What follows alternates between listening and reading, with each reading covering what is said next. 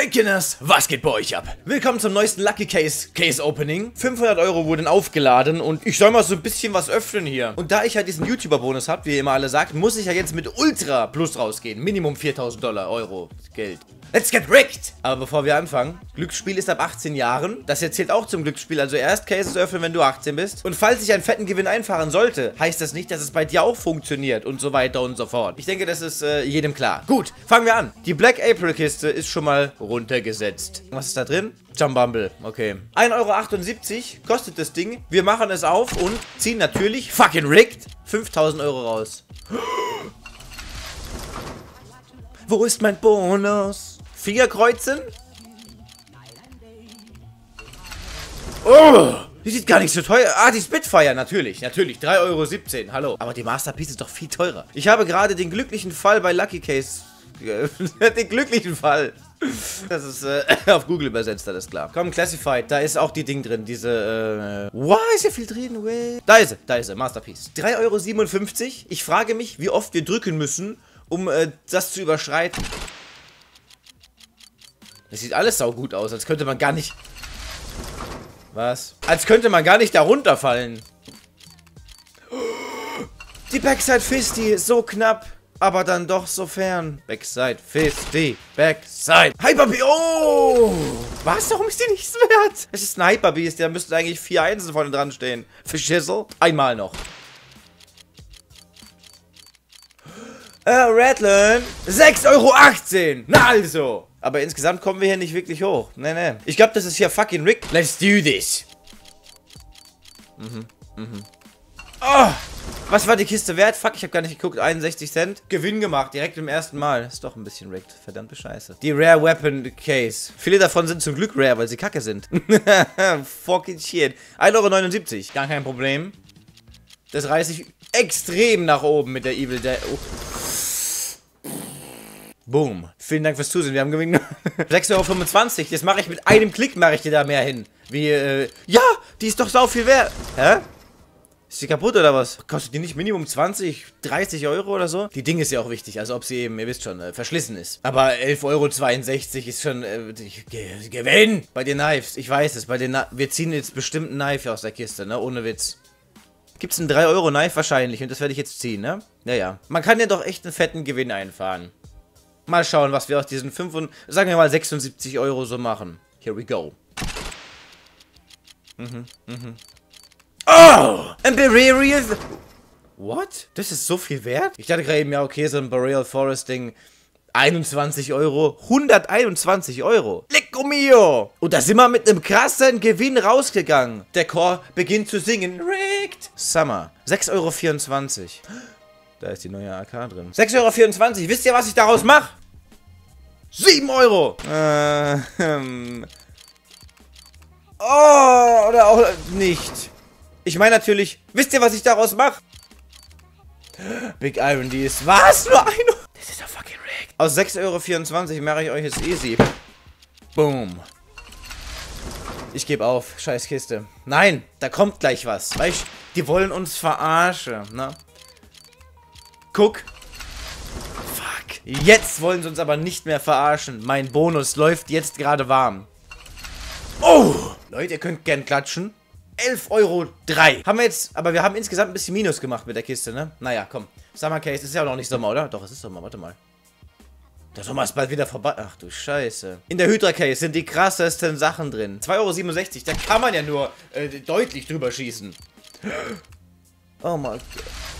Äh, ich meine natürlich, beim zweiten Mal kann man da ja nur deutlich drüber schießen. Ich hätte sogar die Sugar Rush. Oh. Oh, habe ich jetzt schon wieder die gleiche gewonnen? War das nicht gerade eben... Komm schon. Sugarish. Sugarish. Sch Fast diese verkackte Waffe schon wieder. Ich glaube, das geht nur mit drei gescheit. 8 Euro, meine Damen und Herren. Kostet es jetzt gerade. Da ist die Orbit am Start. Na also. Wasser, wir haben trotzdem Verlust gemacht. Die Hydra-Kiste ist verhext. Spektrum. 88 Cent. Weißt die sind alle mindestens 4.000 bis 5.000 Euro wert. Außer die, die ist nur ein paar Cent wert. Ich weiß nicht, ist hier überhaupt irgendeine mehr? Wie, 2,26 Euro. Wir haben jetzt schon 44 Euro Gewinn gemacht. Gut. Als nächstes kommt die Melee-Kiste. In dem anderen Knife-Teil haben wir extrem Gewinn gemacht. Oder was heißt extrem? Wir haben ungefähr, haben wir es verdoppelt? Wie, was hat die gekostet? 75 und wir haben 100, ja okay, wir haben 120. Also nicht wirklich verdoppelt, aber wir waren schon nah dran an der Verdopplung. Und wisst ihr, was ich jetzt hier ziehe? Ich hoffe, das ist auch viel wert. Das ziehe ich jetzt nämlich. Oder das Lore. Das ist ja nicht nach Preis sortiert, oder? So aufsteigend, absteigend. Das ist durcheinander, oder? 67 Euro in einem reinen Knife-Case. Oh, wow. 67 Euro in einem reinen Knife Case, wirklich gar kein Problem. Mhm. Flip Knife. Komm, wie geil das aussieht. Die Leute sprechen immer von, von Rigged YouTuber Chance. Ich hätte, ich müsste doch jetzt eigentlich schon, was weiß ich, wie viel haben. Oh, ich habe einfach drauf gedrückt. Ich müsste doch jetzt schon 8 Trilliarden Daris haben. 44 Cent, was war die Kiste wert? 89 Cent, nein. Das lasse ich nicht mit mir machen. Ich will positiv aus der Kiste rausgehen. Positiv, habe ich gesagt. Lucky Case, hörst du mich? Positiv. Also, es geht doch. Hier wäre es natürlich sehr sick, wenn man eines der Knives ziehen könnte für 10 Euro. Wie hart ist die Riggigkeit jetzt am Start? Kriege ich da jetzt easy Knife raus oder... Ähm Nein. Aber jetzt kommt das Knife des Jahrhunderts. Oh, Aquamarine, die ist aber auch nicht schlecht. Oh, die ist nicht schlecht. Alle guten Dinge sind drei. Weiß jeder. Ja. Komm schon, komm schon. Knife!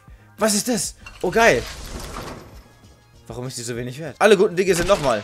Eins. Da hinten dran hängen. Oh, so viele Knives, die da einfach geplätschert kommen. Gut, okay, nee, nee, nee, nee, nee. Nicht äh, übertreiben. Black April haben wir schon längst gemacht. Die Alarmkiste. Jetzt kommt's.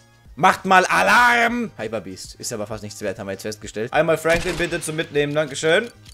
Mit einer großen Pommes kommen. Oh, die Chopper. Ist überhaupt gar nichts wert. Mhm. Jetzt kommt er, jetzt kommt... 1,93 Euro, what? Ja, Gewinn gemacht. So, oh, die Elite-Kiste. Oh, da kann man doch nur ultra riesen tausendfachen Gewinn machen, oder? Alles klar, easy Handschuhe für mich. Tsching, tsching, Motherfucker. Hey. Oh. Das war unglaublich einfach. Es waren ja wirklich nur Handschuhe da. Leute, ich glaube, ich glaub, mit der Kiste können wir easy auf die 2000 Euro kommen. Oh, fuck, ich habe mich so getäuscht. Aber warte mal. Nicht viel Verlust gemacht. Oh! Jetzt aber langsam schon.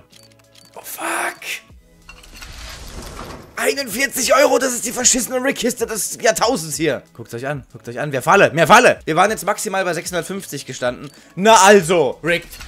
So sieht es nämlich aus. Die gleichen wie gerade eben. Spring, was haben wir bei den Spring-Sachen drin? Wow. Fucking nice. Ich würde sagen, für 18 Euro Einsatz, vielleicht so ein 1000 Euro Knife, wäre ich jetzt äh, schon am Start. No, dude. Oh my god, how did you, babe? Ja, krasser Scheiß. Lass uns dann gleich mal so wirklich ernsthaft über diese ganze Rigged-Sache reden. Also eins muss ich auf jeden Fall schon mal sagen. Rigged oder nicht rigged, je öfter man etwas versucht oder versuchen kann, desto mehr oder desto höhere Chancen hat man, dass es irgendwann gut wird. Wenn du nur einmal versuchst, hast du nur einmal den Versuch, klar. Das heißt, wenn man so einen fetten Batzen Cash am Start hat, dann ist die Wahrscheinlichkeit natürlich auch höher, dass man mal was gewinnt oder Profit macht, also mal bei einer Case. Nicht, dass man insgesamt Profit macht. Was mache ich eigentlich gerade? 11,61 Euro. Ich äh, hätte gerne das Tiger Tooth. Ich klicke es mal an, dann kommt es auch. Es ist noch nicht mal gekommen. Aber die Bullet Rain, what? Warum ist die so viel wert? Wisst ihr, aus welcher Case die kommt, die Bullet Rain? So, machen wir mal die Bankkiste auf. Die sieht nach wie vor sehr geil aus. Ich denke, damit kann man auch einen dicken Gewinn einfahren, vor allem, wenn man den Einsatz bedenkt. Komm, komm, die roten. Ich ziehe sie hier hoch. Öh. Bitte einmal die roten. Ja, es sind die roten geworden. Sehr schön. Okay, jetzt instant ein Gewinn. Die Cheap Case, ganz klar. Komm, machen wir die halt mal auf. Was war es? 54 Cent. Easy Warm God, Easy Going, Easy Experience, meine Freunde. Oh! Warte, da kommt sie, da kommt sie, da kommt sie, da, da kommt sie. Gewinn. Guck mal hier, die Fake-Kiste.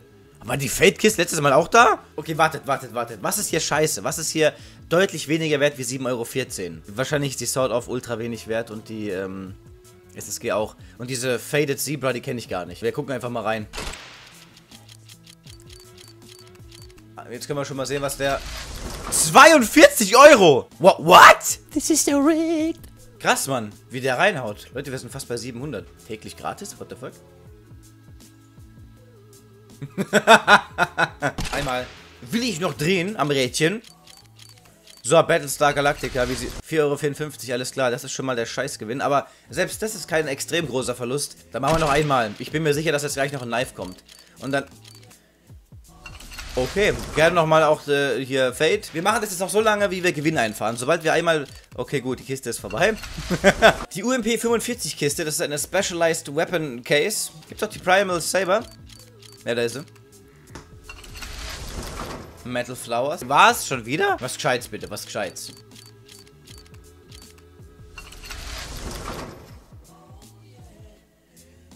Rigged. Was ist da los? Na also, Briefing. Die ist auch nichts wert, okay. Warum ist sie nichts wert, die Briefing? Die sieht doch so geil aus. Okay, Primal Saver kommt jetzt und dann ist gut. Uh, oh, fast wäre die Metal Flower. Das sehe ich nicht ein. Ich will hier einmal Gewinn machen. Gibt's doch gar nicht. Wahrscheinlich gibt's ja nicht viele, womit man... Da ist der Gewinn auch schon eingefahren. Zack, bumm, fertig. Welches teuerste? Ich nehme an die Kill Confirm, ne? So, ich helfe hier mal ein bisschen nach. Da ist er ja schon. ja, 2,58 Euro. Die Guardian. Sie haut echt immer wieder raus. Aber bei den USPS war jetzt nicht so geiler Kram dabei. So, die AWPs. Die Dealer ist am Start, ganz klar. Es sind einfach alle AWPs, die es... Sie denken sich halt, naja, es muss auch irgendein Skin dabei sein, der einfach äh, Minuswert hat. Da legt man dann einfach drauf. Phobos. Nein. 4,2 Euro können sicherlich geschlagen werden. Das kann mir keiner erzählen. Na, Alter, die Wormgold ist doch mehr wert. Jetzt was Gescheites. Ich will was sehen. Elite-Bild. Fuck. Fuck. Na? Ah! 6,53 Euro. Snake Camo, sieht die Kacke aus. AK-47, gar kein Problem. Dann machen Oh, was war das? 6 Euro irgendwas, gell? Die sind alle so viel wert. Boom, Aquamarine Revenge! Es kommt mir echt gerade so vor, als könnte ich nicht fallen. Als könnte ich nicht gegen Null fallen. 6,17 Euro. Insta-Win. Oh, eine Blood Collection. Leute, Blood Collection. Blood, Blood and Water. yeah. Das habe ich nicht gesehen, was ich hier ausgebe, äh, eingegeben habe, meine ich, an Geld. Aber nie im Leben 32,35 Euro. Boom. Das wirkt doch schon ziemlich... Einmal im Chor sagen, rigged! So 1,34 Euro bei den Glocks, da muss man natürlich gucken, wie, ähm, wie man das geschickt angeht. Auch wenn ich die Wasteland Rebel vom Aussehen her nicht mag, ihr wisst es ja, lasse ich sie hier einfach mal kommen. Knapp, aber fair. Steel Disruption ist nicht so ganz das Wahre. Oh, die Royal Legion. 1,93 Euro. Gewinn gemacht. Wir halten uns tatsächlich im Moment in einem Plus auf, in einem ordentlichen Plus. 212 Euro haben wir einfach erstmal locker gemacht in, okay, 30 Minuten. Armagor Imperial. Come on, come on, dude, come on. Scorpion. 2,68 Euro. Eine Hardnet Case. Für 12,50 Euro kann man reinentern. Und es gibt vergleichsweise sehr viele Knives hier drin. Aber natürlich ist die Chance, um die Knives zu bekommen, extrem... Oh! Nochmal, wir machen aber nochmal. Ne? Wir machen nochmal. Nochmal. Aber jetzt. Oh! Was? Komm. Ihr wollt mich doch gerade ficken. Jetzt kommt das Knife. Jetzt kommt das Knife. Diese Kiste ist wirklich eine harte Nuss. Man sieht ständig die Knives und will immer weitermachen, um ein Knife zu ziehen. Aber es kommt nie. Ich meine, gut, das ist jetzt ein Gewinn auf jeden Fall. Das ist auch schön. Aber man denkt sich jedes Mal, und das ist ja auch der Trick der ganzen Sache, das Knife ist so nah, dass man nur noch einmal drehen muss, um ranzukommen. Ja? Aber es ist nie wirklich nah. es soll halt einfach so wirken, als wenn man ganz, ganz nah dran wäre an was Großem, dass man einfach nochmal Geld reinsteckt und nochmal Geld. Ich weiß, euch allen ist es eigentlich klar, aber es gibt so ein paar Vollidioten, die dann sagen, du bist so Rick, du sagst es niemandem, dass es so ist, voila. Solche Leute, die halt täglich von ihren Lehrern, Eltern, Tieren vergewaltigt werden, die sind halt so komisch drauf. Deswegen sage ich es einfach nochmal hinzukommend, wobei ich natürlich davon ausgehe, dass ihr das alle wisst. Oh. Natürlich gehe ich hier mit einer ganz anderen Einstellung ran, wie an ein Case-Opening, das ich bzw. das wir als Community bezahlt haben. Das Geld ist halt einfach aufgeladen, das ist einfach geschenkt von der Seite, ne? Das ist, ähm... Da fühlt sich das nicht an wie Oh, wie ein Verlust. Wahrscheinlich geht es nicht. Wahrscheinlich kann man hier einfach keinen Knife bekommen. Okay, schon wieder. Mit allen paar Öffnungen sinken wir immer so ein bisschen tiefer. Wir verlieren so alle drei, vier Öffnungen ungefähr 2 bis 3 Euro. Jetzt vielleicht sogar ein paar mehr. Merkt ihr das? Merkt ihr das, dass sich das echt die ganze Zeit wiederholt? Guck mal, wir haben jetzt ständig Lose, Lose und dann glaube ich noch ein Lose, bin mir nicht sicher, und dann die 20 Euro Ding. Wir fallen die ganze Zeit um 2 Euro. Eben waren wir bei 92, 93. Davor waren wir bei 94, 95. Achtung, passt mal auf. Die Rigtide ist aufgedeckt. Achtung, jetzt kommt irgendeine so Pistole. So, wir, wir, sind gleich wieder bei 88 oder sowas. Jetzt kommt noch irgendeine so scheiß Pistole. Und jetzt kommt wieder die AK. Für 20 Euro. Oder auch nicht. Es wird schlimmer. Verdammte Scheiße. Okay, aber eben war es so. Es war die ganze Zeit. Jetzt kommt sie. Jetzt kommt die AK. Fucking Rick, dude! Für 26, guck! Ah, okay, wir sind 10 Euro drunter unter meinem, also 12 Euro. Leute, ich muss hier weg von der Kiste. Nee, nee, das geht nicht. Aber es ist immer das gleiche gewesen. Immer nur die zwei Pistolen und eben die AK. Gut, wir gehen weiter zu den Dual Berettas und ziehen jetzt den krassesten Mofuck Shit on the world, dude. Oh mein Gott. Haben wir schon... Ja, wir haben Gewinn gemacht. So, wie sieht es ja bei den M4s aus? 4,46 Euro. Machen wir direkt. Mit dem ersten Versuch gehen wir da drüber. Locker. Halt, wir sind drüber, ja. 8 Euro. Hallo? Pff, lächerlich. Die Augs. Zack. Ah, fuck, ich habe den Preis 1 Euro irgendwas, gell, was? Locker! Halt, wa, wa, was? Ich dachte so, okay, pink, geil, die ist bestimmt 8 Millionen Euro wert und dann sowas. Mhm, mhm. Schwind, Ah, also, der Scheißkopf. 3,28 Euro. So, New Knives. Da bin ich wirklich extrem gespannt drauf auf diese Kiste. Sind das alles, wie der Name vermuten lässt, neue Knives? Ich habe keine Übersicht über neu hinzugefügte Knives. Autotronic, das hat Wallen auf jeden Fall vor einem Vierteljahr schon gehabt oder vor einem halben. So neu können diese Knives nicht sein. 133 Euro. Wohl eher 300 Euro Gewinn.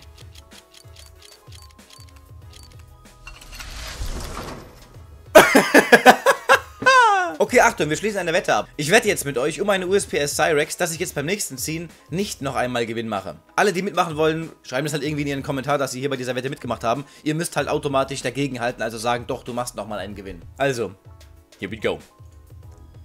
Da da da da da da da da da da da da da da Oh. Egal, ein andermal. Komm, wir machen weiter mit der Stained. 8,92 Euro sind zu schlagen. Schauen wir mal was da so geht.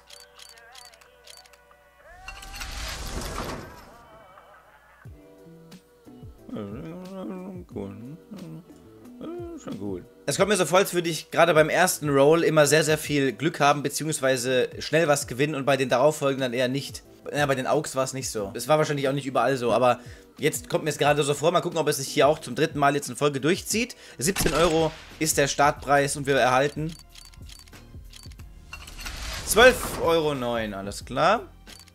12 Euro, 11 Euro 1. Uh, das wird ja immer schlimmer hier. Oh, komm, komm. 10,23 Euro. Hey, hier ist irgendwie nicht viel zu holen.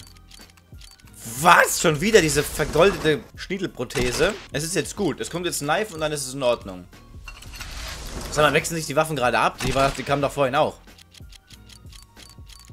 Na also. Na also. Oh, die Ultrakiste. 31 Euro. Ist auch ein bisschen Crap dabei, ne? So, 31 Euro locker überstiegen, oder? Nein. Okay. Oh, 28, so knapp. Einmal noch, dann gehen wir aus der Kiste raus. Obwohl wir eigentlich immer Gewinn machen wollen. Ich wollte gerade sagen, und da ist der Gewinn. Aber 20 Euro. Ja, die Asimov schon ultra. Ja, 38, na also. Aber insgesamt Verlust gemacht bei der Case. Oh, die VIP-Kiste, das sind, glaube ich, genau, Knives und Handschuhe. Äh, 48 Euro? Ja, klar, die eben. Okay, gut. 45 Euro, alles klar. Mhm. Alle guten Dinge sind drei, danach wissen wir ja raus aus der Kiste. Die bringt Unglück. Damaskus Steel! Scheiße, scheiße. Aber ich will in der Kiste einen verschissenen Gewinn einfahren. Einmal noch, aber dann gehen wir wirklich raus. Egal was jetzt kommt, danach gehen wir raus.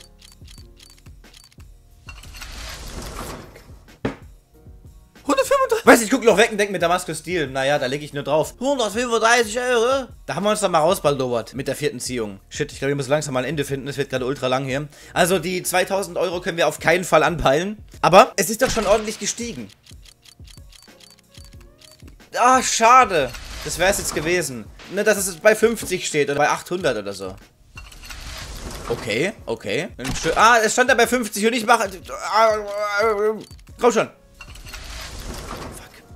Ja, die ist doch was wert, oder? Jawollo. Fuck. 8 Cent. Komm schon, komm schon, komm schon. Ich kann doch gerne was... für... Ja.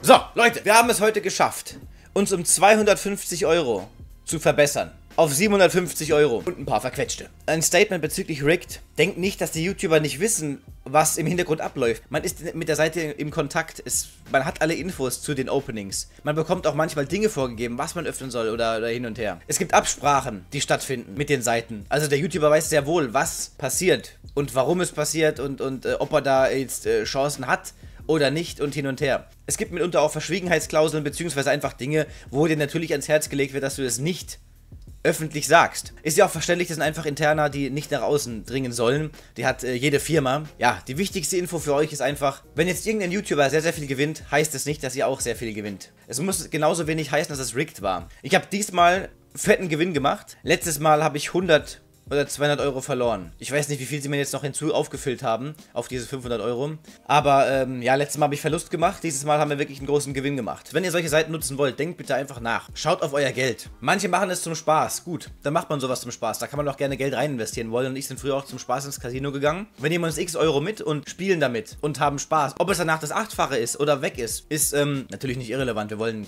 ganz klar was gewinnen. Aber wenn es weg ist, zum Beispiel die 10 Euro, mit denen man reingeht, dann ist es nicht schlimm. Man hat praktisch damit seinen Spaß bezahlt, diesen Eintritt. Und in den Casinen, in denen wir sind, bekommen wir halt auch Essen und Trinken. Kostenlos, ne? Da kommen Frauen rum, die geben dir dann eine Cola, richtig original Cola, Glasflasche hin und her. Es gibt Pizzateilchen und Beefy und, und was weiß ich alles. Das Wichtige dabei ist aber, man muss verantwortungsvoll damit umgehen. Man muss vor allem erstmal entscheiden, kann ich mir das überhaupt leisten oder gönnen, einfach gamblen zu gehen jetzt. Einfach eine Runde Spaß zu haben und das Geld rauszuhauen. Und wenn das möglich ist, dann kann man natürlich mal Spaß haben. Ganz klar, auf jeden Fall. Wenn es nach den Regeln entspricht, also man auch 18 ist. Wenn aber sonst, wenn ihr euer Taschengeld zum Beispiel da verpulvert, ihr macht euch nur unglücklich. Es ist echt, es ist eine blöde Sache eigentlich, die ganze Geschichte. Ich gehe schon immer davon aus, dass ihr eine sehr kluge Zuschauerschaft habt. Lacht nicht, ihr lacht euch gerade selbst aus. Ja. Und dass ihr euch da einfach eure eigenen differenzierten Gedanken machen könnt. Aber genug mit der Ansprache. Vielen Dank fürs Zusehen, meine Damen und Herren. Wenn es euch gefallen hat, dann lasst es mich wissen. Macht's gut, bis zum nächsten Mal. Ciao. Rick.